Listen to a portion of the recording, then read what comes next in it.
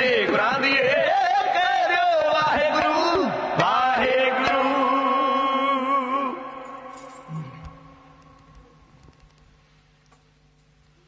ਸ੍ਰੀ ਗੁਰੂ ਗ੍ਰੰਥ ਸਾਹਿਬ ਮਹਾਰਾਜ ਜੀ ਦੇ ਪਾਵਨ ਪਵਿੱਤਰ ਚਰਨਾਂ ਵਿੱਚ ਸਜ ਬੈਠੀ ਗੁਰੂ ਕੀ ਸਾਜੀ ਨਵਾਜੀ ਸਾਧ ਸੰਗਤ ਦਾਸਾਂ ਦੀ ਹਾਜ਼ਰੀ ਦਰ ਪ੍ਰਵਾਨ ਕਰੋ ਜੀ। ਕਲਗੀ ਵਾਲੇ ਪਾਤਸ਼ਾਹ ਮਹਾਰਾਜ ਦੇ ਹੁਕਮਾਂ ਦੀ ਪਾਲਣਾ ਕਰਦੇ ਹੋਏ ਆਓ ਸਾਰੇ ਫਤਿਹ ਦੀ ਸਾਂਝ ਪਾਈਏ।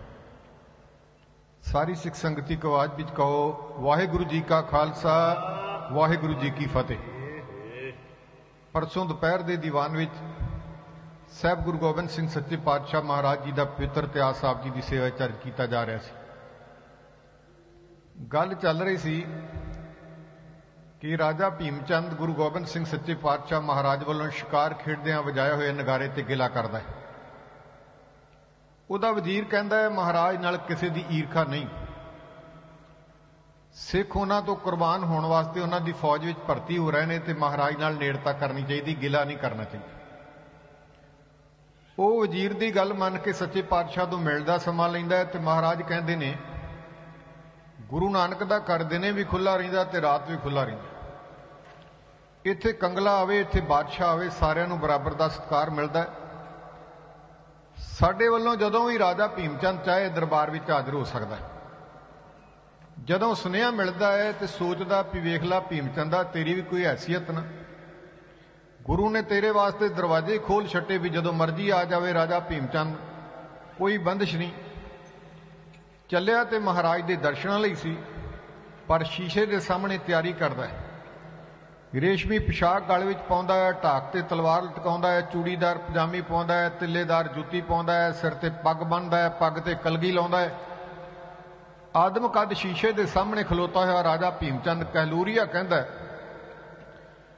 ਗੁਰੂ ਜਵਾਨ ਹੈ, ਓਏ ਭੀਮਚੰਦਾ, ਤੇਰੀ ਸ਼ਾਨ ਵੇਖ ਕੇ ਗੁਰੂ ਨਾ ਚਾਹੁੰਦਿਆਂ ਵੀ ਤੇਰੇ ਚਰਨਾਂ ਤੇ ਝੁਕੇਗਾ ਗਿਆ ਸੀ ਮਹਾਰਾਜ, ਜਾਣਾ ਸੀ ਮਹਾਰਾਜ ਦੇ ਦੀਦਾਰ ਕਰਨ ਵਾਸਤੇ, ਦਿਲ ਵਿੱਚ ਚੌਮੇ ਆ ਗਈ। ਜਾ ਪਹੁੰਚਦਾ ਸੱਚੇ ਪਾਤਸ਼ਾਹ ਦੇ ਪਾਵਨ ਦਰਬਾਰ ਵਿੱਚ। ਮਹਾਰਾਜ ਨੂੰ ਸਜਦਾ ਕਰਦਾ ਹੈ ਤੇ ਸੱਚੇ ਪਾਤਸ਼ਾਹ ਦੀ ਚੰਦਨ ਦੀ ਚੌਂਕੀ ਵੇਖਦਾ, ਜਿਹਦੇ ਤੇ ਮਹਾਰਾਜ ਬੈਠੇ ਨੇ, ਪਸ਼ਮੀਨੇ ਦੀ ਚਾਨਣੀ ਵੇਖਦਾ ਉੱਤੇ ਤਣੀ ਹੋਈ। ਸੱਚੇ ਪਾਤਸ਼ਾਹ ਦੇ ਪਾਵਨ ਦਰਬਾਰ ਵਿੱਚ ਇੱਕ ਪਾਸੇ ਮਾਲਾ ਫੜ ਕੇ ਬੈਠੇ ਉਦਾਸੀ ਬਾਬਿਆਂ ਨੂੰ ਵੇਖਦਾ ਹੈ ਇੱਕ ਪਾਸੇ ਸੈਨਾਪਤੀਆਂ ਨੂੰ ਵੇਖਦਾ ਤੇ ਅਲੌਕਿਕ ਜਿਹਾ ਨਜ਼ਾਰਾ ਤੱਕ ਕੇ ਹੈਰਾਨ ਹੋ ਜਾਂਦਾ ਤੇ ਮਹਾਰਾਜ ਦੇ ਚਰਨਾਂ ਤੇ ਨਮਸਕਾਰ ਕਰਦਾ ਕਹਿੰਦਾ, ਮਹਾਰਾਜ, ਮੈਂ ਅਮਨ ਚਾਹੁੰਦਾ। ਸੱਚੇ ਪਾਤਸ਼ਾਹ ਕਹਿੰਦੇ, ਰਾਜਾ ਭੀਮ ਚੰਦ ਅਮਨ ਪਸੰਦ ਕੌਮਾਂ ਦੁਨੀਆ ਦੇ ਨਕਸ਼ੇ ਤੋਂ ਮਿਟ ਜਾਇਆ ਕਰਦੀਆਂ ਨੇ। ਕੌਮਾਂ ਦੀ ਤਕਦੀਰ ਤਾਂ ਜਦੋ ਜਹਿਦ ਵਿੱਚੋਂ ਘੜੀ ਜਾਂਦੀ। ਆਖਰਕਾਰ ਸੱਚੇ ਪਾਤਸ਼ਾਹ ਮਹਾਰਾਜ ਦੇ ਦਰਬਾਰ ਵਿੱਚ ਆਪਣੀ ਨਜ਼ਰ ਦੜਾਉਂਦਾ ਹੈ ਤੇ ਮਹਾਰਾਜ ਸਮਝਦੇ ਨੇ ਕਿ ਇਹਦਾ ਮਨ ਲੁਭਾਏ ਮਨ ਕਦੇ ਚੰਦਨ ਦੀ ਚੌਂਕੀ ਵੱਲੇ ਵੇਖਦਾ ਹੈ, ਕਦੇ ਪਸ਼ਮੀਨੇ ਦੀ ਚਾਨਣੀ ਵੱਲੇ ਵੇਖਦਾ ਹੈ। ਤੇ ਸਾਹਿਬ ਕਲਗੀ ਵਾਲੇ ਪਾਤਸ਼ਾਹ ਮਹਾਰਾਜ ਨੇ ਉਹਦੇ ਅੰਦਰ ਦੀ ਹੋਰ ਗੱਲ ਜਾਣਨ ਵਾਸਤੇ ਸਿੱਖਾਂ ਨੂੰ ਕਹਿ ਕੇ ਪੰਜ ਕਲਾ ਸ਼ਸਤਰ ਮੰਗਾਇਆ। ਉਹਦੇ ਦੀਦਾਰ ਕਰਵਾਏ, ਪ੍ਰਸਾਦੀ ਹਾਥੀ ਵਿਖਾਇਆ ਤੇ ਰਾਜੇ ਦਾ ਮਨ ਹੋਰ ਲੁਭਾਏ ਮਨ ਹੋ ਗਿਆ। ਕੁਝ ਸਮਾਂ ਮਹਾਰਾਜ ਦੇ ਚਰਨਾਂ ਵਿੱਚ ਰਹਿ ਕੇ ਫਿਰ ਵਾਪਸ ਆ ਗਿਆ ਸੱਚੇ ਪਾਤਸ਼ਾਹ ਦੇ ਚਰਨਾਂ ਤੇ ਨਮਸਕਾਰ ਕਰ ਵਿਚਾਰਦਾ ਪੀਏ ਚੀਜ਼ਾਂ ਰਾਜੇ ਭੀਮ ਚੰਦਾ ਜੇ ਤੇਰੇ ਦਰਬਾਰ ਵਿੱਚ ਹੋਣ ਤੇ ਅੱਗੇ ਪਹਾੜੀ ਰਾਜੇ ਤੈਨੂੰ ਸਰਮੌਰ ਰਾਜਾ ਮੰਨਦੇ, ਤੇਰੀ ਸ਼ਾਨ ਵਿੱਚ ਹੋਰ ਵੀ ਵਾਧਾ ਹੋਵੇਗਾ। ਇਹ ਕਿਸੇ ਨਾ ਕਿਸੇ ਤਰ੍ਹਾਂ ਚੀਜ਼ਾਂ ਫਕੀਰਾਂ ਦੇ ਡੇਰੇ ਤੋਂ ਰਾਜੇ ਭੀਮ ਚੰਦ ਦੇ ਦਰਬਾਰ ਵਿੱਚ ਹਾਜ਼ਰ ਹੋਣੀਆਂ ਚਾਹੀਦੀਆਂ। ਆਪਣੇ ਮੰਤਰੀਆਂ ਨਾਲ ਵਿਚਾਰ ਕਰਦਾ ਤੇ ਉਹਦਾ ਇੱਕ ਚਤਰੂ ਪੰਡਤ ਸੀ, ਉਹ ਕਹਿਣ ਲੱਗਾ, ਜੀ ਚੀਜ਼ਾਂ ਮੈਂ ਲਿਆ ਦੇਣਾ ਬਹਾਨਾ ਤੁਹਾਡੇ ਬੇਟੇ ਅਮ- ਅਜਮੇਰ ਦੀ ਵਿਆਹ ਦਾ ਹੈ, ਤੇ ਬਹਾਨਾ ਮਾਰ ਕੇ ਦਿਖਾਵੇ ਵਜੋਂ ਇਹ ਚੀਜ਼ਾਂ ਦਿਖਾਉਣ ਵਾਸਤੇ ਮੈਂ ਲੈ ਆਉਣਾ ਤੇ ਫਿਰ ਤੁਸੀਂ ਵੇਰ ਜਾਇਓ। ਰਾਜੇ ਭੀਮ ਚੰਦ ਦੇ ਦਿਲ ਨੂੰ ਗੱਲ ਲੱਗਦੀ, ਉਹ ਚਤਰੂ ਨੂੰ ਭੇਜਦਾ ਹੈ। ਚਤਰੂ ਮਹਾਰਾਜ ਦੇ ਦਰਬਾਰ ਵੀ ਜਾਂਦਾ ਹੈ। ਸਤਿਗੁਰਾਂ ਦੀ ਤਾਰੀਫ ਕਰਦਾ ਵੀ ਗੁਰੂ ਜਵਾਨ ਹੈ, ਜਵਾਨੀ ਦਾ ਭੁੱਖਾ ਹੂੰ। ਜਵਾਨੀ ਤਾਰੀਫ ਦੀ ਭੁੱਖੀ ਹੁੰਦੀ ਹੈ। ਮਹਾਰਾਜ ਦੀ ਸ਼ਾਨ ਵਿੱਚ ਤਾਰੀਫ ਕਰਦਾ ਹੈ। ਫਿਰ ਮਹਾਰਾਜ ਤੋਂ ਉਹਨਾਂ ਚੀਜ਼ਾਂ ਦੀ ਮੰਗ ਕਰਦਾ ਹੈ। ਤੇ ਕਹਿੰਦਾ ਜੀ, ਰਾਜਾ ਭੀਮ ਚੰਦ ਪਹਾੜੀ ਰਾਜਿਆਂ ਵਿੱਚੋਂ ਵੱਡਾ ਰਾਜਾ, ਉਹਦੇ ਪੁੱਤਰ ਅਜਮੇਰ ਦਾ ਵਿਆਹ ਹੈ ਤੇ ਉਹ ਸ਼ਾਨ ਬਣਾਉਣ ਵਾਸਤੇ ਕੁਝ ਚੀਜ਼ਾਂ ਦੀ ਮੰਗ ਕਰਨ ਵਾਸਤੇ ਮੈਨੂੰ ਭੇਜਿਆ ਤੇ ਮੈਂ ਕਰਦਾ ਵਾਅਦਾ। ਪ੍ਰਸਾਦੀ ਹਾਥੀ, ਪੰਜ ਕਲਾ ਸ਼ਸਤਰ, ਪਸ਼ਮੀਨੇ ਦੀ ਚਾਨਣੀ ਤੇ ਆ ਚੰਦਨ ਦੀ ਚੌਕੀ ਤੁਹਾਡੇ ਦਰਬਾਰ ਵਿੱਚ ਨਜ਼ਰਾਂ ਸਮੇਤ ਜਣੀ ਨਜ਼ਰਾਨੇ ਸਮੇਤ ਭੇਟਾ ਸਮੇਤ ਭੇਜ ਦਿੱਤੀ ਜਾਵੇ। ਤੋ ਸਾਹਿਬ ਕਲਗੀ ਵਾਲੇ ਪਾਤਸ਼ਾਹ ਮਹਾਰਾਜ ਨੇ ਆਖਿਆ, ਇਹ ਸੰਗਤ ਦੀਆਂ ਚੀਜ਼ਾਂ ਨੇ ਜੇ ਪ੍ਰਸਾਦੀ ਹਾਥੀ ਰਾਜੇ ਭੀਮ ਚੰਦ ਨੂੰ ਚਾਹੀਦਾ, ਸਾਡੇ ਮੁੱਲ ਖਰੀਦਿਆਂ ਵਿੱਚੋਂ ਲੈ ਜਾਵੇ, ਇਹ ਅਸੀਂ ਦੇਣਾ ਨਹੀਂ। ਜਦੋਂ ਮਹਾਰਾਜ ਇਨਕਾਰ ਕਰ ਦਿੰਦੇ ਨੇ ਤੇ ਰਾਜੇ ਭੀਮ ਚੰਦ ਨੂੰ ਆਣ ਕੇ ਪੰਡਿਤ ਚਤਰੂ ਦੱਸਦਾ ਤੇ ਉਹ ਮਹਾਰਾਜ ਵੱਲੇ ਇੱਕ ਰੋਹ ਭਰੀ ਚਿੱਠੀ ਲਿਖਦਾ ਹੈ ਤੇ ਕਲਗੀ ਵਾਲੇ ਪਾਤਸ਼ਾਹ ਉਹਦੀ ਚਿੱਠੀ ਦਾ ਜਵਾਬ ਉਵੇਂ ਹੀ ਦਿੰਦੇ ਨੇ। ਜਦੋਂ ਆਖਦਾ, ਨਾ ਕੱਲ ਤੇਰੇ ਬਾਪ ਨੂੰ ਦਿੱਲੀ ਕਤਲ ਕੀਤਾ ਗਿਆ, ਨੌਵੀਂ ਪਾਤਸ਼ਾਹੀ ਕਤਲ ਕੀਤੀ ਗਈ, ਤੈਨੂੰ ਉਹ ਦਿਨ ਭੁੱਲ ਗਏ? ਤੇ ਮਹਾਰਾਜ ਜਵਾਬ ਵਿੱਚ ਕਹਿੰਦੇ ਹੋਏ, ਆਪਣੇ ਆਪ ਨੂੰ ਰਾਜਪੂਤ ਖਵਾਉਣ ਵਾਲਿਆ। ਨੌਵੇਂ ਪਾਤਸ਼ਾਹ ਦੀ ਸ਼ਹਾਦਤ ਤਾਂ ਤੁਹਾਡੇ ਬਦਲੇ ਹੋਈ ਸੀ ਤੇ ਮੈਨੂੰ ਅਲਾਂਭਾ ਦੇਣ ਤੋਂ ਪਹਿਲਾਂ 100 ਵਾਰੀ ਸੋਚ ਲੈਣਾ ਸੀ ਤੇ ਜੇ ਤੂੰ ਉਹ ਰਾਜਪੂਤੀ ਤਲਵਾਰ ਰਾਜਾ ਮਾਨ ਸਿੰਘ ਵਾਲੀ ਫੇਰ ਪਰਖਣੀ ਚਾਹੁੰਦਾ ਤੇ ਅਸੀਂ ਤਿਆਰ। ਅੱਜ ਫੇਰ ਤੂੰ ਪਰਖਣੀ ਚਾਹੁੰਦਾ, ਉਹ ਮਾਨ ਸਿੰਘ ਵਾਲੀ ਕਿਰਪਾਨ। ਭਈ ਜੇ ਤੂੰ ਲੜਾਈ ਚਾਹੁੰਦਾ ਤੇ ਅਸੀਂ ਤਿਆਰ ਆ, ਇਹ ਚੀਜ਼ਾਂ ਅਸੀਂ ਦੇਣੀਆਂ ਨਹੀਂ। ਮਹਾਰਾਜ ਨੇ ਜਵਾਬ ਵਿੱਚ ਲਿਖਿਆ, ਤੇ ਰਾਜਾ ਭੀਮਚੰਦ ਆ ਜਾਂਦਾ ਹੈ ਗਿਲੇ ਵਿੱਚ। ਉਹ ਤਲ ਲਾ ਉੱਠਦਾ ਹੈ ਤੇ ਲੜਾਈ ਵਾਸਤੇ ਤਿਆਰ ਹੋ ਜਾਂਦਾ ਹੈ ਤੇ ਉਹਦੀ ਰਾਣੀ ਨੂੰ ਪਤਾ ਲੱਗਦਾ ਹੈ ਕਿ ਇੱਕ ਪਾਸੇ ਪੁੱਤਰ ਦਾ ਵਿਆਹ ਹੈ। ਇੱਕ ਪਾਸੇ ਵਿਆਹ ਦੀਆਂ ਘੋੜੀਆਂ ਗਾਈਆਂ ਜਾਣੀਆਂ ਤੇ ਜੇ ਹੋਈ ਲੜਾਈ ਤੇ ਪਤਾ ਨਹੀਂ ਕਿੰਨੀਆਂ ਕਲਾਸ਼ਾਂ ਘਰ ਵਿੱਚ ਆਉਣ, ਇੱਕ ਪਾਸੇ ਲਾਸਾਂ ਦਾ ਸੰਸਕਾਰ ਹੋਏਗਾ, ਇੱਕ ਪਾਸੇ ਵਿਆਹ ਦੀਆਂ ਖੁਸ਼ੀਆਂ ਦੀਆਂ ਸ਼ਨਾਈਆਂ ਵੱਜਣਗੀਆਂ। ਤੇ ਰਾਜੇ ਭੀਮ ਚੰਦ ਦਾ ਪੱਲਾ ਫੜ ਕੇ ਉਹਦੀ ਘਰਵਾਲੀ ਉਹਨੂੰ ਬੇਨਤੀ ਕਰ ਰਹੀ ਆ ਕਿ ਰਾਜਾ ਜੀ, ਲੜਾਈ ਨਹੀਂ ਕਰਨੀ ਚਾਹੀਦੀ, ਲੜਾਈ ਦੇ ਨਤੀਜੇ ਚੰਗੇ ਨਹੀਂ ਨਿਕਲਦੇ ਤੇ ਰਾਜਾ ਭੀਮ ਚੰਦ ਉਸ ਨੂੰ ਜਵਾਬ ਵਿੱਚ ਕੀ ਆਖਦਾ ਹੈ? ਢਾਡੀਆਂ ਵਿੱਚ ਅੱਜ ਕੱਲ ਜ਼ਿਆਦਾਤਰ ਇਸ ਨਗਮੇ ਨੂੰ ਨਹੀਂ ਗਾਇਆ ਜਾਂਦਾ। ਬਾਪੂ ਸੀਤਲ ਜੀ ਦੀ ਕਲਮ ਤੋਂ ਲਿਖੀ ਹੋਈ ਝੋਕ। ਝੋਕ ਦੀ ਚਾਲ ਵਿੱਚ ਲਾਈਨਾਂ ਅਰਜ ਕੀਤੀਆਂ ਜਾ ਰਹੀਆਂ ਨੇ। ਰਾਣੀ ਰਾਜੇ ਦਾ ਪੱਲਾ ਫੜ ਕੇ ਹੋੜਦੀ ਹੋਈ ਕਹਿ ਰਹੀ ਹੈ ਵੀ ਰਾਜਾ, ਲੜਾਈ ਦਾ ਬਿਗਲ ਨਾ ਵਜਾ ਦੇਈ, ਲੜਾਈ ਦੇ ਨਤੀਜੇ ਬੜੇ ਭਿਆਨਕ ਨਿਕਲਦੇ ਨੇ। ਇੱਕ ਪਾਸੇ ਪੁੱਤਰ ਦਾ ਵਿਆਹ ਰਚਿਆ, ਇੱਕ ਪਾਸੇ ਵਹਿਣ ਪੈਣਗੇ, ਇੱਕ ਪਾਸੇ ਖੁਸ਼ੀ ਦੇ ਨਗਮੇ ਗਾਏ ਜਾਣੇ, ਇਹ ਗੱਲਾਂ ਚੰਗੀਆਂ ਨਹੀਂ। ਤੇ ਰਾਜਾ ਜਵਾਬ ਵਿੱਚ ਕੀ ਆਖਦਾ ਹੈ? ਸਵਾਲ ਜਵਾਬ ਕਿਵੇਂ ਹੁੰਦੇ ਨੇ ਇਹਨਾਂ ਸ਼ਬਦਾਂ ਵਿੱਚ? ਇਉਂ ਅਰਜ ਕੀਤਾ ਜਾਂਦਾ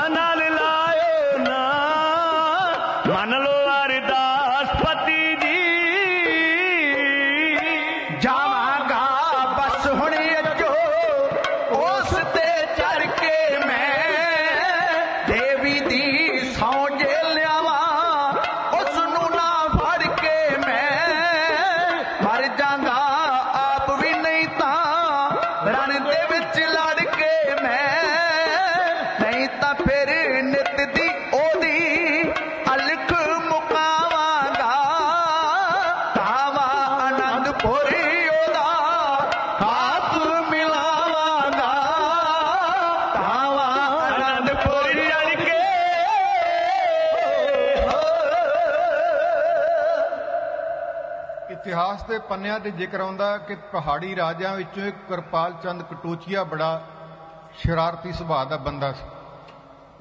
ਜਦੋਂ ਉਹਨੂੰ ਪਤਾ ਲੱਗਾ ਕਿ ਗੁਰੂ ਗੋਬਿੰਦ ਸਿੰਘ ਸੱਚੇ ਪਾਤਸ਼ਾਹ ਮਹਾਰਾਜ ਨੇ ਰਾਜੇ ਭੀਮ ਚੰਦ ਦੇ ਲਾਗੀ ਮੋੜ ਦਿੱਤੇ, ਉਹਦਾ ਸੁਭਾਅ ਸੀ ਕਿ ਦੇਸੀ ਰਿਆਸਤਾਂ ਵਿੱਚ ਪਾੜਾ ਪਾ ਕੇ ਰੱਖਣਾ, ਕਦੀ ਇਹਨੂੰ ਚੁੱਕ ਦੇਣਾ, ਕਦੇ ਦੂਜੇ ਨੂੰ ਚੁੱਕਣਾ, ਦੇ ਦੇਣੀ ਜਣੀ ਦੇਸੀ ਰਿਆਸਤਾਂ ਆਪਦੇ ਵਿੱਚ ਦੀ ਲੜਦੀਆਂ ਰਹਿਣ। ਸੁਭਾਅ ਹੁੰਦਾ ਬੰਦਿਆਂ ਦਾ। ਉਹਨੇ ਕਲਗੀ ਵਾਲੇ ਪਾਤਸ਼ਾਹ ਮਹਾਰਾਜ ਵੱਲੇ ਪੱਤਰਕਾ ਲਿਖੀ ਵੀ ਰਾਜੇ ਭੀਮ ਚੰਦ ਤੋਂ ਡਰਨਾ ਨਹੀਂ। ਜੇ ਉਹ ਹਮਲਾਵਰ ਬਣ ਕੇ ਆਇਆ ਤੇ ਮਹਾਰਾਜ ਅਸੀਂ, ਮੈਂ ਆਪਣੀ ਫੌਜ ਲੈ ਕੇ ਆਵਾਂਗਾ ਤੇ ਤੁਹਾਡੇ ਹੱਕ ਵਿੱਚ ਹੋਵਾਂਗਾ। ਤੇ ਗੁਰੂ ਕੀ ਸਾਜੀ ਨਵਾਜੀ ਸਾਧ ਸੰਗਤ ਦੂਜੇ ਪਾਸੇ ਰਾਜੇ ਭੀਮ ਚੰਦ ਨੂੰ ਚੁੱਕਣਾ ਦੇਣ ਵਾਸਤੇ ਆਇਆ। ਰਾਜੇ ਭੀਮ ਚੰਦ ਨੂੰ ਚੁੱਕਣਾ ਦੇਣ ਵਾਸਤੇ ਆਇਆ ਵੀ ਮੈਂ ਰਾਜੇ ਨੂੰ ਕਹਿਣਾ ਹੈ ਕਿ ਗੁਰੂ ਕੋਲੋਂ ਡਰੀ ਨਾ। ਗੁਰੂ ਅੱਜ ਤੈਨੂੰ ਅੱਖਾਂ ਵਿਖਾਉਂਦਾ ਕੱਲ ਨੂੰ ਸਾਨੂੰ ਵਿਖਾਵੇਗਾ। ਪਰ ਗੁਰੂ ਕੀ ਸਾਜੀ ਨਵਾਜੀ ਸਾਧ ਸੰਗਤ ਐਨ ਉਸ ਵਕਤ ਤੇ ਆਇਆ ਸੀ ਜਦੋਂ ਰਾਜੇ ਦੀ ਤੇ ਰਾਣੀ ਦੀ ਵਾਰਤਾਲਾਪ ਹੋ ਰਹੀ ਸੀ। ਤੇ ਰਾਣੀ ਕਹਿ ਰਹੀ ਸੀ, ਇਹ ਗੁਰੂ ਨਾਨਕ ਦਾ ਘਰ ਹੈ, ਰਾਜਿਆਂ ਨਾਲ ਲੜ ਕੇ ਤੇ ਰਾਜਾ ਭੀਮਚੰਦ ਸ਼ਾਇਦ ਤੂੰ ਜਿੱਤ ਪ੍ਰਾਪਤ ਕਰ ਲੈ, ਪਰ ਯਾਦ ਰੱਖੀ, ਗੁਰੂ ਨਾਲ ਲੜ ਕੇ ਨਾ ਜਿੱਤ ਪ੍ਰਾਪਤ ਹੋਣੀ ਹੈ, ਜ਼ਿੰਦਗੀ ਤੋਂ ਹੱਥ ਧੋਣੇ ਪੈਣਗੇ, ਬਹੁਤ ਵੱਡਾ ਨੁਕਸਾਨ ਹੋਣਗਾ, ਸਿਪਾਹੀ ਮਾਰੇ ਜਾਣਗੇ, ਸਤਿਗੁਰੂ ਦੀ ਤੇਗ ਦੀ ਭੇਟਾ ਹੋ ਜਾਵੇਗਾ, ਰਾਜ ਭਾਗ ਜਾਂਦਾ ਰਹੇਗਾ, ਅਜਮੇਰ ਦੇ ਵਿਆਹ ਦੇ ਦਿਨ ਨੇ ਤੇ ਕੰਮ ਨਾ ਕਰ। ਕਿਰਪਾਲ ਚੰਦ ਨੇ ਰਾਜੇ ਭੀਮ ਚੰਦ ਨੂੰ ਸਮਝਾਉਣ ਦੀ ਕੋਸ਼ਿਸ਼ ਕੀਤੀ ਤੇ ਕਹਿਣ ਲੱਗਾ, ਜੋ ਰਾਣੀ ਕਹਿ ਰਹੀ ਹੈ, ਰਾਜਾ ਭੀਮ ਚੰਦ ਜੀ, ਉਹ ਠੀਕ ਕਹਿ ਰਹੀ ਇਸ ਕਰਕੇ ਖੁਸ਼ੀ ਦੇ ਮੌਕੇ ਉੱਤੇ ਸਾਨੂੰ ਇਸ ਲੜਾਈ ਦੇ ਜੰਗ ਦੇ ਕਾਰਨਾਮੇ ਨਹੀਂ ਕਰਨੇ ਚਾਹੀਦੇ, ਲੜਾਈ ਨਹੀਂ ਛੇੜਨੀ ਚਾਹੀਦੀ। ਰਾਣੀ ਸੱਚੀ ਗੱਲ ਆਖਰੀ ਇੱਕ ਪਾਸੇ ਵਿਆਹ ਦੀਆਂ ਸ਼ਾਨਾਈਆਂ ਵੱਜਣਗੀਆਂ ਤੇ ਜੰਗ ਦੇ ਤੇ ਨਤੀਜੇ ਭਿਆਨਕ ਹੁੰਦੇ। ਜਦੋਂ ਇਹ ਗੱਲ ਰਾਜੇ ਕਿਰਪਾਲ ਚੰਦ ਕਟੋਚੀਏ ਨੇ ਆਖੀ ਤੇ ਰਾਣੀ ਕਹਿਣ ਲੱਗੀ, ਵੀਰ ਜੀ, ਰਹਿਣ ਦਿਓ, ਰਾਜਾ ਭੀਮ ਚੰਦ ਨੂੰ ਨਾ ਰੋਕੋ। ਇਹ ਛੇਵੇਂ ਪਾਤਸ਼ਾਹ ਗੁਰੂ ਹਰਗੋਬਿੰਦ ਸਾਹਿਬ ਮਹਾਰਾਜ ਦਾ ਆਸਾਨ ਉਤਾਰਨ ਵਾਸਤੇ ਜਿਹੜੇ ਸੱਚੇ ਪਾਤਸ਼ਾਹ ਨੇ ਇਹਨਾਂ ਦੇ ਦਾਦੇ ਨੂੰ ਗਵਾਲੀਅਰ ਦੀ ਜੇਲ੍ਹ ਵਿੱਚੋਂ ਬਾਹਰ ਕੱਢਿਆ ਸੀ, ਮਹਾਰਾਜ ਨਾਲ ਲੜਾਈ ਛੇੜਨਾ ਚਾਹੁੰਦਾ ਜਿਸ ਕਲਗੀ ਵਾਲੇ ਪਾਤਸ਼ਾਹ ਦੇ ਸ਼ਹੀਦ ਸਤਿਗੁਰੂ ਗੁਰੂ ਤੇਗ ਬਹਾਦਰ ਸਾਹਿਬ ਮਹਾਰਾਜ ਨੇ ਪਹਾੜੀ ਰਾਜਿਆਂ ਦੀ ਖਾਤਰ ਆਪਣੀ ਜ਼ਿੰਦਗੀ ਦਾ ਬਲੀਦਾਨ ਦਿੱਤਾ ਸੀ, ਇਹ ਮਹਾਰਾਜ ਦਾ ਅਹਿਸਾਨ ਚੁਕਾਉਣਾ ਚਾਹੁੰਦਾ, ਰੋਕੋ ਨਾ ਇਸ ਨੂੰ।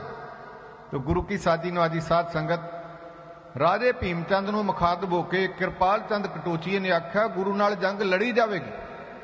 ਗੁਰੂ ਨਾਲ ਜੰਗ ਲੜਾਂਗੇ, ਪਰ ਇਹ ਧਿਆਨ ਦੇਣ ਵਾਲੀ ਗੱਲ ਹੈ ਕਿ ਵਿਆਹ ਦੇ ਸਮੇਂ ਉੱਤੇ ਜੰਗ ਨਹੀਂ ਲੜਨੀ ਚਾਹੀਦੀ ਕਾਹਲ ਨਹੀਂ ਕਰਨੀ ਚਾਹੀਦੀ। ਆਪਾਂ ਅਜਮੀਰ ਦਾ ਵਿਆਹ ਕਰ ਲਈਏ ਤੇ ਵਿਆਹ ਤੋਂ ਬਾਅਦ ਸਾਰੇ ਰਾਜੇ ਇਕੱਠੇ ਹੋਣੇ, ਫਿਰ ਜਿੱਥੇ ਗੁਰੂ ਹੋਏਗਾ ਹਮਲਾ ਬੋਲ ਦਵਾਂਗੇ। ਜਦੋਂ ਸਾਰੇ ਇਕੱਠੇ ਹੋ ਗਏ, ਨਾਲੇ ਫਤਿਹ ਸ਼ਾਹ ਵੀ ਸਾਡੇ ਨਾਲ ਰਲ ਜਾਵੇਗਾ।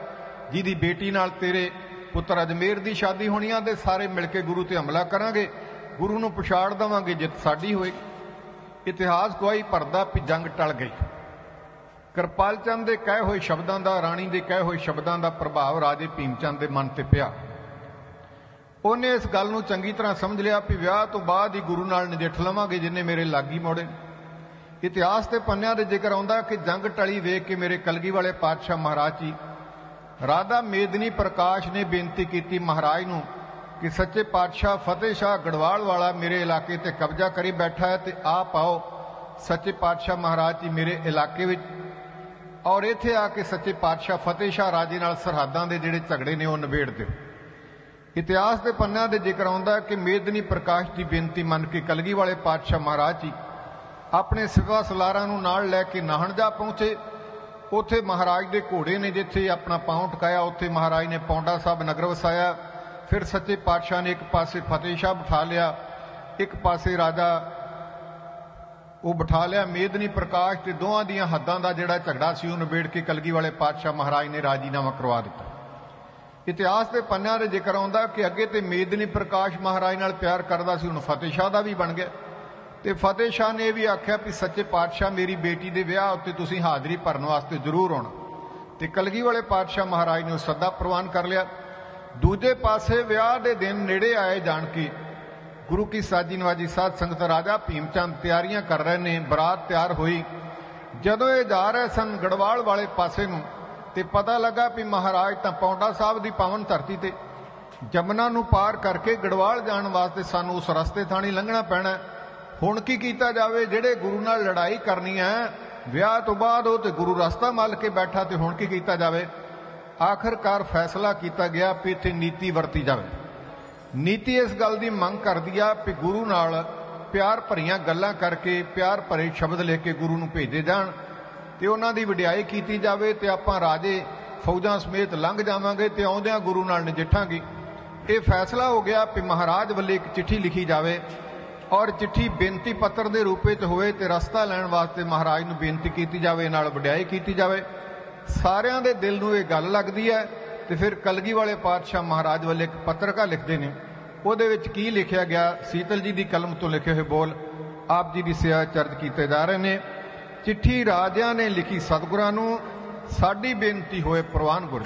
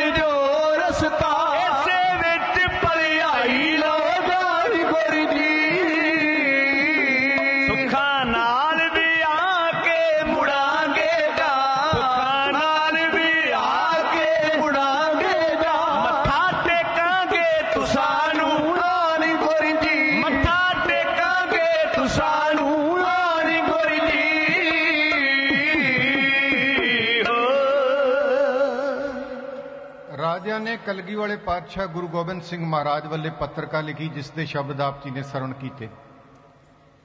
ਨੀਤੀਵਾਨ ਲੋਕਾਂ ਦੇ ਜ਼ਬਾਨ ਤੋਂ ਨਿਕਲੇ ਹੋਏ ਸ਼ਬਦਾਂ ਵਿੱਚ ਕੁਝ ਹੋਰ ਹੁੰਦਾ ਤੇ ਅੰਦਰ ਕੁਝ ਹੋਰ ਹੁੰਦਾ।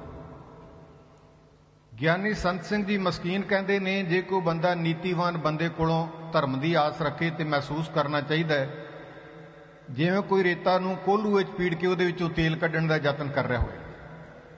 ਜਿਵੇਂ ਰੇਤਾ ਵਿੱਚ ਤੇਲ ਨਹੀਂ ਹੁੰਦਾ, ਇਸੇ ਤਰ੍ਹਾਂ ਨੀਤੀਵਾਨ ਲੋਕਾਂ ਦੇ ਦਿਲਾਂ ਵਿੱਚ ਧਰਮ ਨਹੀਂ ਹੁੰਦਾ, ਉਹ ਤਾਂ ਲੋੜਾ ਮਾਰੇ ਝੁਕ ਸਕਦੇ ਨੇ, ਪਰ ਮੁੜ ਕੇ ਜਿੰਨੇ ਝੁਕਣ ਉਹਨੇ ਤਾਂ ਵੀ ਉੱਠ ਸਕਦੇ।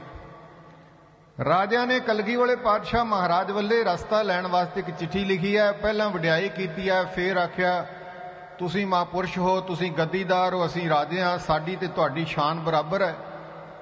ਤੇ ਅੰਤਲੇ ਸ਼ਬਦਾਂ ਵਿੱਚ ਆਖਿਆ ਵੀ ਸਾਡੀ ਜੰਜ ਨੂੰ ਲੰਘਣ ਵਾਸਤੇ ਰਸਤਾ ਦੇ ਦਿਓ ਤੇ ਆਉਂਦਿਆਂ ਤੁਹਾਨੂੰ ਮੱਥਾ ਟੇਕਾਂਗੇ। ਤੇ ਜੇ ਨਾ ਰਸਤਾ ਦਿੱਤਾ ਤੇ ਤੁਹਾਨੂੰ ਪਤਾ ਅਸੀਂ ਰਾਜੇ ਹਾਂ, ਸਾਡੇ ਕੋਲੇ ਫੌਜ ਆ, ਨਤੀਜੇ ਬੜੇ ਭਿਆਨਕ ਨਿਕਲਣ। ਇਹ ਚਿੱਠੀ ਕਲਗੀ ਵਾਲੇ ਪਾਤਸ਼ਾਹ, ਸੱਚੇ ਪਾਤਸ਼ਾਹ ਦੇ ਪਾਵਨ ਦਰਬਾਰ ਵਿੱਚ ਪਹੁੰਚਦੀ ਹੈ। ਮਹਾਰਾਜ ਇਹ ਚਿੱਠੀ ਨੂੰ ਪੜ੍ਹਦੇ ਨੇ ਤੇ ਸੱਚੇ ਪਾਤਸ਼ਾਹ ਜਿਹੜਾ ਅਹਿਲਕਾਰ ਚਿੱਠੀ ਲੈ ਕੇ ਜਾਂਦਾ ਹੈ, ਜਿਹੜਾ ਚਿੱਠੀ ਪਹੁੰਚਾਉਂਦਾ ਉਸ ਨੂੰ ਜਵਾਬ ਵਿੱਚ ਮਹਾਰਾਜ ਕਹਿੰਦੇ ਵੀ ਰਾਜੇ ਨੂੰ ਕਹੋ, ਭਈ ਜੇ ਬਰਾਤ ਨਾਲ ਰਾਜੇ ਲੰਘ ਸਕਦੇ ਨੇ, ਉਹਨਾਂ ਨੂੰ ਅਸੀਂ ਰੋਕਦੇ ਨਹੀਂ, ਫੌਜਾਂ ਪਿਛਾਂ ਮੋੜ ਦਿੱਤੀਆਂ ਜਾਣ, ਅਸੀਂ ਰੋਕਦੇ ਨਹੀਂ, ਪਰ ਜੇ ਫੌਜਾਂ ਲੈ ਕੇ ਇੰਦੀ ਲੰਗੇ ਤੇ ਫਿਰ ਅਸੀਂ ਲੰਘਣ ਨਹੀਂ ਦੇਣ। ਗੁਰੂ ਕੀ ਸਾਜੀ ਨਵਾਜੀ ਸਾਧ ਸੰਗਤ, ਜੇ ਲੜਨਾ ਚਾਹੁੰਦੇ ਨੇ, ਅਸੀਂ ਲੜਨਾ ਨਹੀਂ ਚਾਹੁੰਦੇ, ਜੇ ਉਹਨਾਂ ਲੜਾਈ ਦਾ ਕੰਮ ਕਰਨਾ ਤੇ ਅਸੀਂ ਤਿਆਰ ਹਾਂ, ਬਸ ਅਸੀਂ ਫੌਜ ਨਹੀਂ ਐਂਦੀ ਲੰਘਣ ਦੇਣੀ, ਬਹਾਨੇ ਨਾਲ ਸਾਡੇ ਤੇ ਹਮਲਾ ਕਰਨਾ ਚਾਹੁੰਦੇ ਨੇ। ਲਾੜਾ ਲੰਘ ਜਾਵੇ, ਰਾਜਾ ਲੰਘ ਜਾਵੇ, ਸਾਨੂੰ ਕੋਈ ਗਿਲਾ ਨਹੀਂ, ਹੋਰ ਰਾਜੇ ਲੰਘ ਜਾਣ, ਕੋਈ ਗਿਲਾ ਨਹੀਂ, ਪਰ ਅਸੀਂ ਫੌਜ ਨਹੀਂ ਨਾਲ ਲੰਘਣ। ਜਦੋਂ ਗੁਰੂ ਗੋਬਿੰਦ ਸਿੰਘ ਮਹਾਰਾਜ ਨੇ ਜਵਾਬ ਵਿੱਚ ਕੋ ਕੁਝ ਕਿਹਾ ਫਿਰ ਵਿਚਾਰ ਪੈਦਾ ਕੀਤੀ ਗਈ ਕਿ ਰਸਤਾ ਜਿਹੜਾ ਹੈ ਸਿੱਧਾ ਤਾਂ ਇਹੀ ਹੈ। ਚੂੜਪੁਰ ਦੇ ਪਤਣ ਤੋਂ ਪਾਰ ਹੋ ਕੇ ਗੜਵਾਲ ਜਾਣਾ ਹੈ, ਹੋਰ ਰਸਤਾ ਕੋਈ ਨਹੀਂ ਜੇ ਕੋ ਹੈ ਤੇ ਬਹੁਤ ਦੂਰ ਦੀ ਹੈ। ਹੁਣ ਕੀ ਕੀਤਾ ਜਾਵੇ? ਆਖਰਕਾਰ ਫੈਸਲਾ ਕੀਤਾ ਗਿਆ ਵੀ ਇੱਕ ਮੰਤਰੀ ਨੂੰ ਨਾਲ ਭੇਜਿਆ ਜਾਵੇ, ਅਜਮੇਰ ਦੇ ਕੁਝ ਹੋਰ ਬੰਦੇ ਭੇਜੇ ਜਾਣ ਤੇ ਬਾਕੀ ਰਾਜੇ ਤੇ ਜਿਹੜੀ ਫੌਜ ਆ ਵਿੰਗੇ ਰਸਤੇ ਪਹੁੰਚ ਜਾਣ, ਗੜਵਾਲ ਪਹੁੰਚ ਜਾਣ ਤੇ ਸਿੱਧੇ ਚਲੇ ਜਾਣ। ਇਹਨਾਂ ਨੂੰ ਮਹਾਰਾਜ ਨੇ ਰੋਕਣਾ ਨਹੀਂ ਕਿਉਂਕਿ ਸੱਚੇ ਪਾਤਸ਼ਾਹ ਨੇ ਪਬੰਜੀ ਫੌਜ ਉੱਤੇ ਲਾਈ, ਸਾਡੇ ਤੇ ਲਾਈ। ਇਤਿਹਾਸ ਕਹਿੰਦਾ ਕਿ ਇਸ ਤਰ੍ਹਾਂ ਹੀ ਕੀਤਾ ਗਿਆ। ਸ਼ਹਿਜ਼ਾਦੇ ਅਜਮੇਰ ਨੂੰ, ਇੱਕ ਸਿਆਣੇ ਮੰਤਰੀ ਨੂੰ ਤੇ ਨਾਲ ਕੁਝ ਹੋਰ ਸਿਆਣੇ ਬੰਦੇ ਭੇਜ ਦਿੱਤੇ ਗਏ ਤੇ ਜਾ ਕੇ ਰਾਜੇ ਅਜਮੇਰ, ਰਾਜੇ ਭੀਮਚੰਦ ਦੇ ਪੁੱਤਰ ਅਜਮੇਰ ਤੇ ਮੰਤਰੀ ਨੇ ਸਾਹਿਬ ਕਲਗੀ ਵਾਲੇ ਪਾਤਸ਼ਾਹ ਮਹਾਰਾਜ ਨੂੰ ਜਾ ਮੱਥਾ ਟੇਕਿਆ। ਨਮਸਕਾਰ ਕੀਤੀ, ਕੁਝ ਭੇਟਾ ਵੀ ਧਰੀਆਂ ਤੇ ਸਾਹਿਬ ਗੁਰੂ ਗੋਬਿੰਦ ਸਿੰਘ ਸੱਚੇ ਪਾਤਸ਼ਾਹ ਮਹਾਰਾਜ ਕਹਿਣ ਲੱਗੇ, ਵੇਖ ਅਜਮੇਰ ਚੰਦ ਜੇ ਤੇਰੇ ਬਾਪ ਵਾਲੀ ਨੀਤੀ ਅਸੀਂ ਅਖਤਿਆਰ ਕਰੀਏ ਤੇ ਤੈਨੂੰ ਇੱਥੋਂ ਜਾਣ ਹੀ ਨਾ ਦਈਏ, ਤੈਨੂੰ ਕਾਬੂ ਕਰ ਲਈਏ, ਕੈਦ ਵਿੱਚ ਪਾ ਦਈਏ ਤੇ ਤੂੰ ਵਿਆਹ ਤੇ ਕਿਵੇਂ ਪਹੁੰਚੇਗਾ? ਪਰ ਤੇਰੇ ਬਾਪ ਵਾਲੀ ਅਸੀਂ ਨੀਤੀ ਅਪਣਾਉਣੀ ਨਹੀਂ। ਅਸੀਂ ਦਿਲੋਂ ਉਹਨਾਂ ਦੇ ਸਾਥ ਹਾਂ, ਦੇਸ਼ ਦੀ ਆਜ਼ਾਦੀ ਲਈ ਲੜਨਾ ਚਾਹੀਦਾ ਮੁਗਲ ਇਸ ਦੇਸ਼ ਤੇ ਕਾਬਜ ਹੋ ਕੇ ਸਾਡੇ ਤੇ ਰੋਹ ਜਮਾ ਰਹੇ ਨੇ। ਸਾਨੂੰ ਕੇਸਰੀ ਝੰਡੇ ਥੱਲੇ ਇਕੱਠੇ ਹੋ ਕੇ ਦੇਸ਼ ਦੀ ਆਜ਼ਾਦੀ ਲਈ ਲੜਨਾ ਚਾਹੀਦਾ ਪਰ ਤੇਰੇ ਬਾਪ ਤੇ ਬਾਕੀ ਰਾਜਿਆਂ ਨੂੰ ਬਾਦਸ਼ਾਹ ਦੀ ਛੱਟ ਚੁੱਕਣ ਦੀ ਜਿਹੜੀ ਉਹ ਆਰਤ ਪੈ ਚੁੱਕੀ ਆ ਤੇ ਉਹ ਛੱਟ ਲਾਉਣ ਲਈ ਤਿਆਰ ਨਹੀਂ ਤੇ ਸਾਡੇ ਨਾਲ ਲੜਾਈ ਕਰਨ ਵਾਸਤੇ ਆ ਰਹੇ ਸਨ। ਅਸੀਂ ਰਸਤਾ ਨਹੀਂ ਦਿੱਤਾ, ਸਾਡੀ ਨੀਅਤ ਸਾਫ਼ ਹੈ। ਤੇ ਬੇਟਾ ਇੰਜ ਕਰ ਵੀ ਭਾਈ ਆਨੰਦ ਚੰਦ ਨੇ ਵੀ ਜਾਣਾ ਹੈ ਕਿਉਂਕਿ ਫਤਿਹ ਸ਼ਾਹ ਰਾਜੇ ਨੇ ਸਾਨੂੰ ਵਿਆਹ ਉੱਤੇ ਬੁਲਾਇਆ, ਅਸੀਂ ਤੇ ਜਾਣਾ ਨਹੀਂ। ਭਾਈ ਆਨੰਦ ਚੰਦ ਕੋ ਸਿੱਖ ਜਾਣਗੇ। ਇਹਨਾਂ ਨੇ ਉੱਥੇ ਵਿਆਹ ਉੱਤੇ ਵੀ ਜਾ ਕੇ ਹਾਜ਼ਰੀ ਲਵਾਉਣੀ ਆ ਤੇ ਇਹਨਾਂ ਦੇ ਨਾਲ ਚਲੇ ਜਾਈ, ਤੈਨੂੰ ਕਿਸੇ ਪ੍ਰਕਾਰ ਦਾ ਕੋਈ ਖਤਰਾ ਨਾ ਹੋਏ। ਇਤਿਹਾਸ ਕਹਿੰਦਾ ਹੈ ਕਿ ਕਲਗੀ ਵਾਲੇ ਪਾਤਸ਼ਾਹ ਮਹਾਰਾਜ ਨੇ 500 ਰੁਪਏ ਦਾ ਨਿਉਂਦਰਾ ਤੇ ਕੁਝ ਹੋਰ ਕੀਮਤੀ ਵਸਤਾਂ ਫਤਿਹ ਸ਼ਾਹ ਦੀ ਬੇਟੀ ਵਾਸਤੇ ਭੇਜੀਆਂ। ਭਾਈ ਆਨੰਦ ਚੰਦ ਕੁਝ ਸਿੱਖਾਂ ਨੂੰ ਨਾਲ ਲੈ ਕੇ ਤਿਆਰ ਹੋਏ ਅਜਮੇਰ ਵੀ ਤੁਰਿਆ। ਰਾਜੇ ਭੀਮ ਚੰਦ ਦਾ ਪੁੱਤਰ ਵਿਆਹ ਵਾਲਾ ਲਾੜਾ ਨਾਲ ਜਿਹੜਾ ਮੰਤਰੀ ਆਇਆ ਸੀ ਉਹ ਵੀ ਤੇ ਕੁਝ ਹੋਰ ਬੰਦੇ ਵੀ। ਇਹ ਬੜੀ ਜਲਦੀ ਨਾਲ ਮਿੱਥੇ ਹੋਏ ਸਮੇਂ ਉੱਤੇ ਉਹ ਉੱਥੇ ਪਹੁੰਚ ਗਏ, ਪਰ ਬਰਾਤ ਲੇਟ ਆਈ ਕਿਉਂਕਿ ਦੂਰ ਥਾਣੀ ਆਈ ਸੀ, ਵੜ ਕੇ ਆਈ ਸੀ ਫੌਜ ਤੇ ਰਾਜੇ ਜਿਹੜੇ ਸਨ ਉਸ ਸਮੇਂ ਨਾਲ ਨਹੀਂ ਪਹੁੰਚ ਸਕੇ ਤੇ ਵਿਆਹ ਥੋੜਾ ਜਿਹਾ ਲੇਟ ਹੋ ਗਿਆ। ਤਾਂ ਗੁਰੂ ਕੀ ਸਾਜੀ ਨੂੰ ਅੱਜ ਸਾਧ ਸੰਗਤ ਇਤਿਹਾਸ ਕਹਿੰਦਾ ਹੈ ਕਿ ਵਿਆਹ ਹੋਇਆ ਭਾਈ ਆਨੰਦ ਚੰਦ ਵੀ ਗਏ ਸਨ ਤੇ ਜਦੋਂ ਵਿਆਹ ਦੀ ਸੰਪੂਰਨਤਾ ਤੋਂ ਬਾਅਦ ਫਤਿਹ ਸ਼ਾਹ ਦੇ ਇਲਾਕੇ ਵਿੱਚ ਨਿਉਂਦਰਾ ਹੁਕਣ ਵਾਲੇ ਨੇ ਆਵਾਜ਼ ਦੇ ਕੇ ਆਖਿਆ ਵੀ ਕਲਗੀ ਵਾਲੇ ਪਾਤਸ਼ਾਹ ਮਹਾਰਾਜ ਵੱਲੋਂ 500 ਰੁਪਏ ਨਿਉਂਦਰਾ ਭੇਜਿਆ ਗਿਆ ਤੇ ਬੱਚੀ ਵਾਸਤੇ ਆ ਚੀਜ਼ਾਂ ਭੇਜੀਆਂ ਗਈਆਂ ਤੇ ਰਾਜਾ ਫਤਿਹ ਸ਼ਾਹ ਉੱਠ ਕੇ ਖਲੋ ਰਾਜਾ ਭੀਮਚੰਦ ਉੱਠ ਕੇ ਖਲੋ ਗਿਆ ਤੇ ਫਤਿਹ ਸ਼ਾਹ ਨੂੰ ਕਹਿਣ ਲੱਗਾ ਉਹ ਫਤਿਹ ਸ਼ਾਹ, ਵਿਆਹ ਤਾਂ ਹੋ ਗਿਆ, ਪਰ ਤੇਰੀ ਬੇਟੀ ਦਾ ਅਸੀਂ ਡੋਲਾ ਲੈ ਕੇ ਨਹੀਂ ਜਾਣਾ। ਉਹਨੇ ਆਖਿਆ, ਕਿਉਂ? ਕਹਿੰਦਾ, ਇੱਕ ਪਾਸੇ ਸਾਡੇ ਨਾਲ ਕੁਰਮਾਚਾਰੀ ਦੀ ਰਿਸ਼ਤਾਦਾਰੀ ਤੇ ਇੱਕ ਪਾਸੇ ਸਾਡੇ ਵਿਰੋਧੀ ਨਾਲ ਨੇੜਤਾ। ਗੁਰੂ ਗੋਬਿੰਦ ਸਿੰਘ ਮਹਾਰਾਜ ਨਾਲ ਵੀ ਨੇੜਤਾ ਤੇ ਸਾਡੇ ਦੁਸ਼ਮਣ ਨਾਲ ਨੇੜਤਾ ਕਰਨ ਵਾਲਾ ਸਾਡਾ ਕੀ ਲੱਗਦਾ ਹੈ? ਇਸ ਕਰਕੇ ਜੇ ਤਾਂ ਗੁਰੂ ਗੋਬਿੰਦ ਸਿੰਘ ਮਹਾਰਾਜ ਦੀਆਂ ਭੇਜੀਆਂ ਹੋਈਆਂ ਵਸਤੂਆਂ ਤੇ ਨਿਉਂਦਰੇ ਦਾ 500 ਰੁਪਇਆ ਪ੍ਰਵਾਨ ਕਰਨਾ ਹੈ, ਫਿਰ ਅਸੀਂ ਤੇਰੀ ਬੇਟੀ ਦੀ ਡੋਲੀ ਲੈ ਕੇ ਨਹੀਂ ਜਾਣੀ। ਜਦੋਂ ਆਖਿਆ ਬੇਟੀ ਦੀ ਡੋਲੀ ਲੈ ਕੇ ਨਹੀਂ ਜਾਣੀ ਤੇ ਉਹਨੂੰ ਮਜਬੂਰੀ ਵਾਸ ਰਾਜੇ ਦੀ ਹਾਂ ਵਿੱਚ ਹਾਂ ਮਿਲਾਉਣੀ ਪਈ। ਤੇ ਫਤਿਹ ਸ਼ਾਹ ਨੇ ਉਹ ਚੀਜ਼ਾਂ ਨਾ ਪ੍ਰਵਾਨ ਕਰ ਦਿੱਤੀਆਂ ਜਿਹੜੀ ਨਹੀਂ ਲਈਆਂ। ਭੀਮਚੰਦ ਤੇ ਬਾਕੀ ਰਾਜਿਆਂ ਨੇ ਫੈਸਲਾ ਕੀਤਾ ਭਈ ਹਮਲਾ ਕਰਕੇ ਆਨੰਦ ਚੰਦ ਤੋਂ ਘੋੜੇ ਵੀ ਖੋਹ ਲੈ ਜਾਣ ਤੇ ਕੀਮਤੀ ਵਸਤਾਂ ਵੀ ਖੋਹ ਲਈਏ ਜਾਣ, ਚੀਜ਼ਾਂ ਬਹੁਤ ਕੀਮਤੀ ਸਨ। ਪਰ ਆਨੰਦ ਚੰਦ ਅੱਗੇ ਹੀ ਤਿਆਰ ਸਨ ਉਹਨਾਂ ਨੇ, ਜਿਹੜੇ ਆਏ ਮੁੱਠ ਭੇੜ ਕਰਨ ਵਾਸਤੇ ਕਈਆਂ ਨੂੰ ਮਾਰ ਦਿੱਤਾ ਤੇ ਕਈਆਂ ਨੂੰ ਤੇਗ ਦੀ ਧਾਰ ਲੰਘਾ ਕੇ, ਕਈਆਂ ਨੂੰ ਭਜਾ ਕੇ ਉਹ ਬਾਕੀ ਚੀਜ਼ਾਂ ਲੈ ਕੇ ਮਹਾਰਾਜ ਦੇ ਪਾਸ ਆ ਗਏ। ਤੇ ਸੱਚੇ ਪਾਤਸ਼ਾਹ ਨੂੰ ਸਾਰੀ ਕਹਾਣੀ ਦੱਸ ਦਿੱਤੀ ਭੀਮਚੰਦ ਦੀ ਨੀਅਤ ਸਾਫ਼ ਨਹੀਂ ਇਹਨਾਂ ਨੇ ਹਮਲਾ ਕਰਨਾ ਹੈ ਤੇ ਸੱਚੇ ਪਾਤਸ਼ਾਹ ਨੇ ਤਿਆਰੀ ਦਾ ਬਿਗਲ ਵਜਾ ਦਿੱਤਾ। ਮਹਾਰਾਜ ਨੇ ਆਖਿਆ, ਤਿਆਰੀ ਕਰ ਲਈ ਜਾਵੇ। ਸੱਚੇ ਪਾਤਸ਼ਾਹ ਨੇ ਜਦੋਂ ਤਿਆਰੀ ਦਾ ਬਿਗਲ ਵਜਾ ਦਿੱਤਾ, ਫਿਰ ਤੇਗਾਂ ਸਾਣਾ ਤੇ ਲੱਗਣ ਲੱਗੀਆਂ ਨੇਦਿਆਂ ਦੀਆਂ ਨੋਕਾਂ ਤਿੱਖੀਆਂ ਕੀਤੀਆਂ ਜਾ ਰਹੀਆਂ ਨੇ, ਕਮਾਨਾਂ ਦੀਆਂ ਤੰਦੀਆਂ ਚੜਾਈਆਂ ਜਾ ਰਹੀਆਂ ਨੇ, ਤੀਰਾਂ ਦੇ ਪੱਥੇ ਭਰੇ ਜਾ ਰਹੇ ਨੇ। ਸੱਚੇ ਪਾਤਸ਼ਾਹ ਨੇ ਚੂੜਪੁਰ ਦੇ ਪਤਨ ਉੱਤੇ ਸਿੱਖਾਂ ਨੂੰ ਤਾਇਨਾਤ ਕਰਨ ਵਾਸਤੇ ਜਿੱਧਰੋਂ ਰਾਜੇ ਤੇ ਉਹਨਾਂ ਦੀਆਂ ਫੌਜਾਂ ਨੇ ਲੰਘ ਕੇ ਆਣਾ ਸੀ, ਉੱਚੀ ਥਾਂ ਤੇ ਮੋਰਚੇ ਬਣਾਉਣ ਦਾ ਹੁਕਮ ਦੇ ਦਿੱਤਾ ਜਮਨਾ ਨਦੀ ਦੇ ਕੰਢੇ ਉੱਤੇ ਤੇ ਸਾਹਿਬ ਕਲਗੀ ਵਾਲੇ ਪਾਤਸ਼ਾਹ ਦੀ ਜੰਗੀ ਤਿਆਰੀ ਵੇਖ ਕੇ ਇੱਕ ਤਾਂ ਰਾਜੇ ਭੀਮਚੰਦ ਨੇ ਉਹ ਜਿਹੜੇ ਪੀਰ ਬੁੱਧੂ ਸ਼ਾਹ ਨੇ ਦਾਮਲੇ ਵਾਲੇ 500 ਫਟਾਣ ਭਰਤੀ ਕਰਵਾਏ ਸਨ, ਉਹਨਾਂ ਵਿੱਚੋਂ 400 ਦੌੜ ਗਿਆ। ਬਹਾਨਾ ਬਣਾ ਕੇ ਤੇ ਰਾਜੇ ਭੀਮਚੰਦ ਨੇ ਉਹਨਾਂ ਨੂੰ ਅਸਲ ਵਿੱਚ ਖਰੀਦ ਲਿਆ। ਸੌਦਾ ਇਹ ਹੋਇਆ ਸੀ ਵੀ ਜੰਗ ਤੋਂ ਬਾਅਦ ਜਿਹੜਾ ਮਹਾਰਾਜ ਦੇ ਡੇਰੇ ਦਾ ਸਮਾਨ ਹੈ, ਉਹਨਾਂ ਪਠਾਣਾ ਨੇ ਆਖਿਆ ਉਹ ਸਾਨੂੰ ਦੇ ਦਿੱਤਾ ਜਾਵੇ ਤੇ ਰਾਜੇ ਨੇ ਹਾਂ ਵਿੱਚ ਹੰਗਾਰਾ ਭਰ ਦਿੱਤਾ ਤੇ ਉਹ ਬਹਾਨਾ ਬਣਾ ਕੇ ਮਹਾਰਾਜ ਦੀ ਫੌਜ ਵਿੱਚੋਂ ਖਿਸ ਗਏ। ਤੇ ਰਾਜੇ ਭੀਮਚੰਦ ਦੀ ਫੌਜ ਵਿੱਚ ਜਾ ਰਲੇ ਲੜਾਈ ਤੋਂ ਪਹਿਲਾਂ ਇਤਿਹਾਸ ਕਹਿੰਦਾ ਹੈ, ਕੇਵਲ ਕਾਲੇ ਖਾਂ ਤੇ ਸੌਜ ਪਾਈ ਜਿਹੜਾ ਉਹਦੇ ਅਧੀਨ ਸੀ, ਉਹ ਰਹਿ ਗਿਆ। ਮਹਾਰਾਜ ਨੇ ਉਸ ਨੂੰ ਵੀ ਤੋੜ ਦਿੱਤਾ। ਤੇ ਗੁਰੂ ਕੀ ਸਾਜੀ ਨਵਾਜੀ ਸਾਧ ਸੰਗਤ ਉਧਰੋਂ ਪਠਾਨ ਬਹਾਨਾ ਬਣਾ ਕੇ ਦੌੜ ਗਏ। ਉਧਰੋਂ ਕਿਰਪਾਲ ਚੰਦ ਜੀ ਦੇ ਕਮਾਂਡ ਥੱਲੇ 489 ਮਹਾਰਾਜ ਦੇ ਡੇਰੇ ਵਿੱਚ ਰਹਿੰਦਾ ਸੀ। ਉਹਨਾਂ ਵਿੱਚੋਂ 400 ਦੌੜ ਗਿਆ ਤੇ ਕੇਵਲ ਕਿਰਪਾਲ ਚੰਦ ਹੀ ਰਹਿ ਗਿਆ ਤੇ ਮਹਾਰਾਜ ਨੇ ਆਖਿਆ, ਕੋਈ ਗੱਲ ਨਹੀਂ ਕਿਰਪਾਲ ਚੰਦ, ਜਦੋਂ ਜੜ ਰਹਿ ਜਾਵੇ ਤੇ ਪੌਦਾ ਫੇਰ ਪੁੰਗਰ ਪੈਂਦਾ ਹੈ। ਤੇ ਗੁਰੂ ਕੀ ਸਾਜੀ ਨਵਾਜੀ ਸਾਧ ਸੰਗਤ ਉਦਾਸੀ ਬਾਬੇ 400 ਤਾਂ ਦੌੜ ਗਏ। ਕੇਵਲ ਰਹਿ ਗਿਆ ਕਿਰਪਾਲ ਚੰਦ ਉਦਾਸੀ ਤੇ ਸੱਚੇ ਪਾਤਸ਼ਾਹ ਨੇ ਉਹਨੂੰ ਆਪਣੀ ਬਖਸ਼ਿਸ਼ ਨਾਲ ਨਵਾਜਿਆ। ਹੁਣ ਜੰਗ ਦੀ ਤਿਆਰੀ ਕੀਤੀ ਜਾ ਰਹੀ ਹੈ।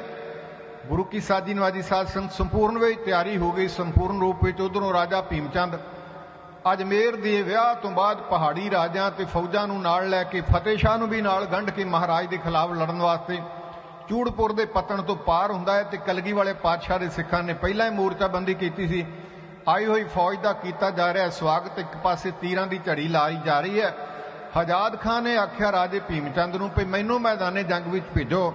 ਮੈਂ ਜੰਗ ਦਾ ਕਰਾਂਗਾ ਖਾਤਮਾ। ਸੋਹਣਿਆਂ ਦੇ ਸੁਲਤਾਨ ਸੱਚੇ ਪਾਤਸ਼ਾਹ ਨੀਲੇ ਘੋੜੇ ਦੀ ਕੰਨ ਤੇ ਸਵਾਰ ਹੋ ਕੇ ਉੱਚੀ ਥਾਂ ਤੇ ਜੰਗ ਦਾ ਨਜ਼ਾਰਾ ਵੇਖ ਰਹੇ ਨੇ। ਹਜਾਦ ਖਾਨ ਰਾਜੇ ਭੀਮਚੰਦ ਤੋਂ ਆਗਿਆ ਲੈ ਕੇ ਅਗਾਹ ਵਧਦਾ ਹੈ। ਤੇ ਮਹਾਰਾਜ ਦੇ ਬਿਲਕੁਲ ਨਜ਼ਦੀਕ ਖੜਾ ਸੀ ਉਹੀ ਉਦਾਸੀ ਬਾਬਾ ਕਿਰਪਾਲ ਚੰਦ। ਕਿਰਪਾਲ ਚੰਦ ਦੀ ਨਜ਼ਰ ਹਜਾਦ ਖਾਨ ਨਾਲ ਜਾ ਪਈ ਕਿਉਂਕਿ ਪਹਿਲਾਂ ਤੇ ਮਹਾਰਾਜ ਦੇ ਡੇਰੇ ਵਿੱਚ ਇਕੱਠੇ ਰਹਿੰਦੇ ਸਨ। ਹਜਾਦ ਖਾਨ ਨੇ ਕਈ ਵਾਰੀ ਕਿਰਪਾਲ ਚੰਦ ਨਾਲ ਵਾਰਤਾਲਾਪ ਕੀਤੀ ਸੀ, ਉਹੀ ਮਹਾਰਾਜ ਦੀ ਫੌਜ ਵਿੱਚ ਭਰਤੀ ਹੋਇਆ ਸੀ। ਹਜਾਦ ਖਾਨ ਜਿਹੜੇ ਦਾਮਲੇ ਵਾਲੇ ਪਠਾਣਾ ਵਿੱਚੋਂ ਸੀ। ਤੇ ਜਦੋਂ ਕਿਰਪਾਲ ਚੰਦ ਨੇ ਹਜਾਦ ਖਾਨ ਨੂੰ ਵੇਖਿਆ ਨਾ ਜਿਹੜਾ ਝੂਠੀਆਂ ਕਸਮਾਂ ਖਾਂਦਾ ਸੀ ਤੇ ਮਹਾਰਾਜ ਦੇ ਚਰਨ ਪਰਸ ਕੇ ਕਹਿਣ ਲੱਗਾ, ਉਹਦੇ ਕੋਲੇ ਲੱਕੜ ਦੀ ਇੱਕ ਸੰਮਾ ਵਾਲੀ ਮੁਕਤੈਰ ਸੀ, ਮੋਢੇ ਤੇ ਰੱਖੀ ਹੋਈ। ਕਹਿਣ ਲੱਗਾ, ਸੱਚੇ ਪਾਤਸ਼ਾਹ, ਨਿਮਕ ਹਰਾਮੀ ਹਯਾਦ ਖਾਂ ਆ ਰਿਹਾ ਹੈ। ਇਹਦੇ ਮੁਕਾਬਲੇ ਤੇ ਮੈਨੂੰ ਭੇਜੋ, ਇਹ ਤਾਂ ਬੜੀਆਂ ਡੀਂਗਾ ਮਾਰਦਾ ਸੀ ਵੀ ਇਨਸਾਨ ਵਿੱਚ ਆਹ ਗੁਣ ਹੋਣੇ ਚਾਹੀਦੇ ਨੇ ਤੇ ਗੁਰੂ ਤੁਹਾਡੇ ਨਾਲ ਦਗਾ ਕਰਕੇ ਭੀਮਚੰਦ ਵਾਲੇ ਪਾਸੋਂ ਲੜਨ ਵਾਸਤੇ ਆ ਗਿਆ ਤੇ ਮਹਾਰਾਜ ਇਹਦਾ ਮੁਕਾਬਲਾ ਮੈਂ ਕਰਨਾ ਚਾਹੁੰਦਾ। ਉਦਾਸੀ ਬਾਬੇ ਦੀ ਕੰਡ ਤੇ ਥਾਪੜਾ ਦੇ ਕੇ ਮਹਾਰਾਜ ਨੇ ਤੋੜ ਦਿੱਤਾ ਹੈ। ਹਜਾਦ ਖਾਂ ਮੈਦਾਨੇ ਜੰਗ ਵੱਲੇ ਵਧ ਰਿਹਾ ਹੈ ਤੇ ਉਦਾਸੀ ਬਾਬਾ ਕਿਰਪਾਲ ਚੰਦ ਦਾ ਮੁਕਾਬਲਾ ਕਿਵੇਂ ਕਰ ਰਿਹਾ ਹੈ? ਕਲਗੀ ਵਾਲੇ ਪਾਤਸ਼ਾਹ ਦਾ ਭੇਜਿਆ ਹੋਇਆ ਬਾਬਾ ਕਿਰਪਾਲ ਚੰਦ ਭਾਰੇ ਜਿਹਾ ਸਰੀਰ ਵਾਲਾ, ਢਿਲਕਵੇਂ ਦੇ ਢਿੱਡ ਵਾਲਾ, ਮੋਢੇ ਤੇ ਮੁਖਤੈਰ ਰੱਖ ਕੇ ਹਜਾਦ ਖਾਨ ਦਾ ਮੁਕਾਬਲਾ ਮੈਦਾਨੇ ਜੰਗ ਵਿੱਚ ਕਿਉਂ ਕਰ ਰਿਹਾ?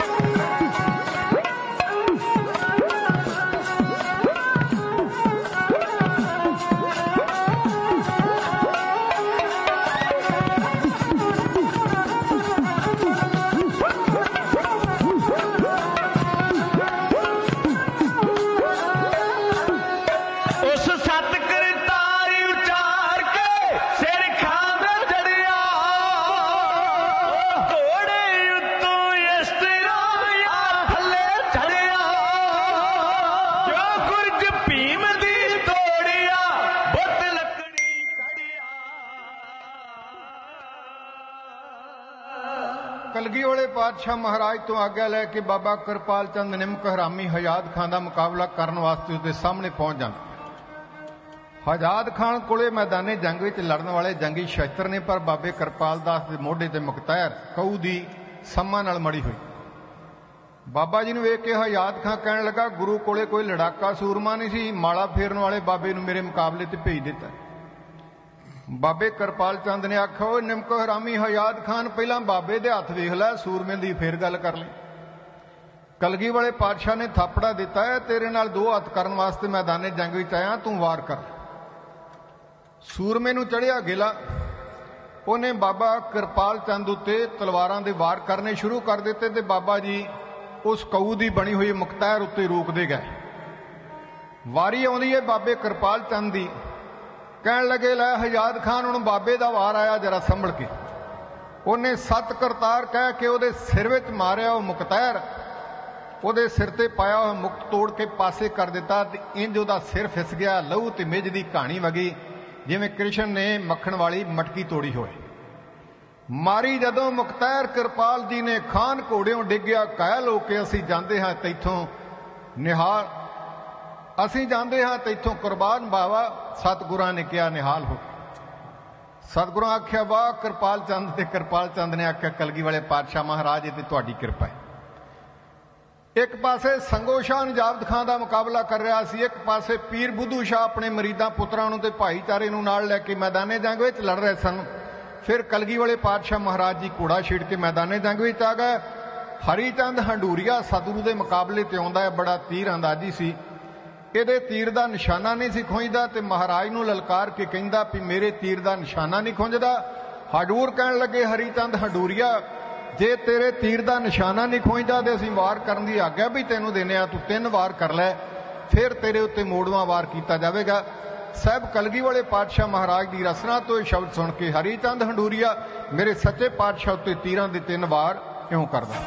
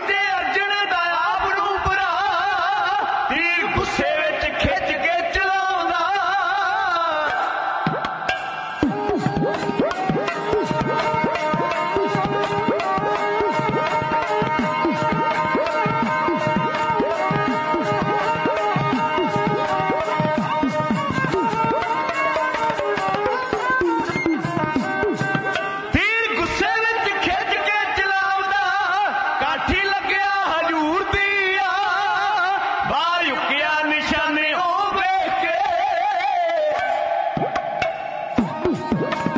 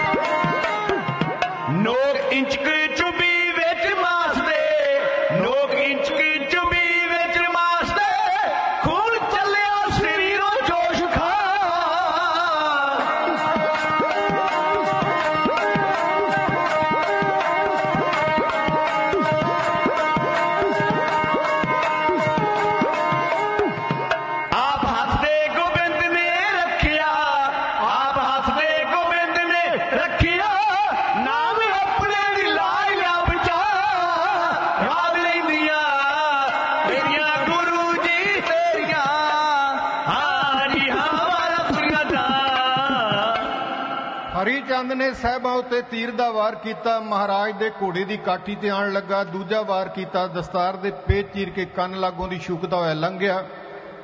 ਤੀਜਾ ਵਾਰ ਛਾਤੀ ਦੀ ਸੇਧ ਲੈ ਕੇ ਛੱਡਿਆ, ਮਹਾਰਾਜ ਨੇ ਘੋੜੇ ਦੀ ਵਾਗ ਪਾਈ, ਲੱਕ ਨਾਲ ਲੱਗੀ ਹੋਈ ਚਮੜੇ ਦੀ ਪੇਟੀ ਵਿੱਚ ਆਣ ਖੁੱਬਿਆ ਤਿੰਚਕ ਮਹਾਰਾਜ ਦੇ ਪੇਟ ਵਿੱਚ ਲੱਗ। ਹਜੂਰ ਦੇ ਜਿਸਮ ਵਿੱਚੋਂ ਥੋੜਾ ਜਿਹਾ ਖੂਨ ਵਗਿਆ, ਵਾਰੀ ਆ ਜਾਂਦੀ ਹੈ ਸੱਚੀ ਸਰਕਾਰ ਸਾਹਿਬ ਕਲਗੀ ਵਾਲੇ ਪਾਤਸ਼ਾਹ ਮਹਾਰਾਜ ਨੇ ਆਖਿਆ, ਓਏ ਰਾਜਾ ਹਰੀ ਚੰਦਾ ਹੁਣ ਤੇਰੇ ਤਿੰਨ ਵਾਰ ਤਾਂ ਅਕਾਲ ਦੇ ਦਾਸ ਨੇ ਰੋਕ ਲਏ ਨੇ ਹੁਣ ਮੇਰੀ ਵਾਰੀ। ਮਹਾਰਾਜ ਨੇ ਧਨ ਖਿਲਾਇਆ ਫੜਿਆ ਕਰ ਕਮਲਾਂ ਵਿੱਚ ਤੇ ਸੱਚੇ ਪਾਤਸ਼ਾਹ ਹਰੀ ਚੰਦ ਨੂੰ ਵੰਗਾਰ ਕੇ ਉਹਦੇ ਵੇਲੇ ਤੰਦੀ ਤੇ ਚੜਾ ਕੇ ਇੱਕ ਤੀਰ ਛੱਡਦੇ ਨੇ। ਆਓ ਦੇਖੀਏ, ਮੇਰੇ ਹਜੂਰ ਦੀ ਕਮਾਨ ਤੋਂ ਉੱਡਿਆ ਹੋਇਆ ਤੀਰ ਹਰੀ ਚੰਦ ਹੰਡੂਰੀਏ ਦਾ ਅੰਤ ਕਿਵੇਂ ਕਰਦਾ ਹੈ? ਇਹਨਾਂ ਸ਼ਬਦਾਂ ਵਿੱਚ ਇਉਂ ਅਰਜ਼ ਕੀਤਾ ਜਾਵੇ।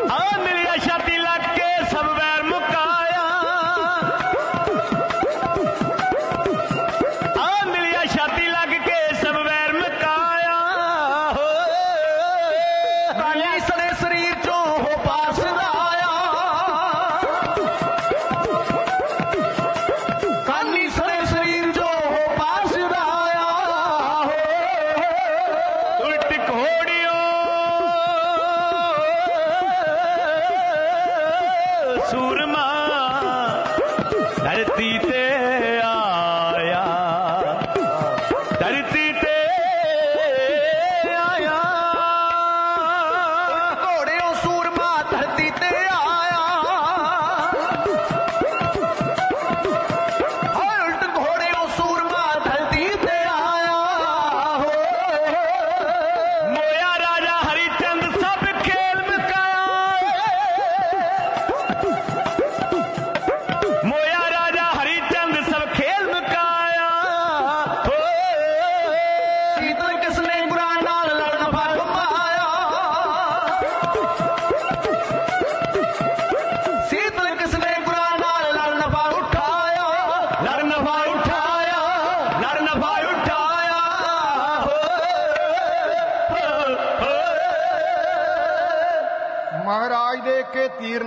ਚੰਦ ਹਰੀਚੰਦ ਹਡੂਰੀਏ ਦੰਤ ਹੋ ਗਿਆ ਤੇ ਘੋੜੇ ਤੋਂ ਥੱਲੇ ਜਾ ਪਿਆ ਤੇ ਫਿਰ ਕੀ ਹੋਇਆ?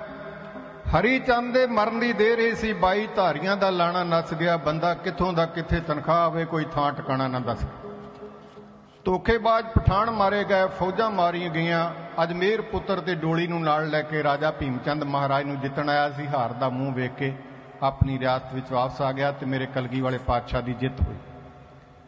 1687 ਈਸਵੀ ਦੇ 18 ਵਿਸਾਖ ਨੂੰ ਇਹ ਜੰਗ ਮਹਾਰਾਜ ਨੂੰ ਪਹਿਲੀ ਲੜਨੀ ਪਈ, ਜਿਹਨੂੰ ਭੰਗਾਣੀ ਦੀ ਜੰਗ ਕਿਹਾ ਜਾਂਦਾ ਹੈ। ਭੰਗਾਣੀ ਦੀ ਜੰਗ ਵਿੱਚ ਕਲਗੀ ਵਾਲੇ ਪਾਤਸ਼ਾਹ ਮਹਾਰਾਜ ਨੂੰ ਜਿੱਤ ਪ੍ਰਾਪਤ ਹੋਈ। ਫਿਰ ਅੱਗੇ ਕੀ ਹੋਇਆ? ਅਗਲੇ ਦੀਵਾਨਾਂ ਵਿੱਚ ਆਪ ਜੀ ਨਾਲ ਸਾਂਝਾ ਕਰਾਂਗੇ। ਇੱਥੇ ਇੰਨੇ ਕੁ ਸ਼ਬਦਾਂ ਨਾਲ ਆਪ ਜੀ ਤੋਂ ਆਗਿਆ ਮੰਗਦੇ ਹਾਂ ਜੀ। ਵਾਹਿਗੁਰੂ ਜੀ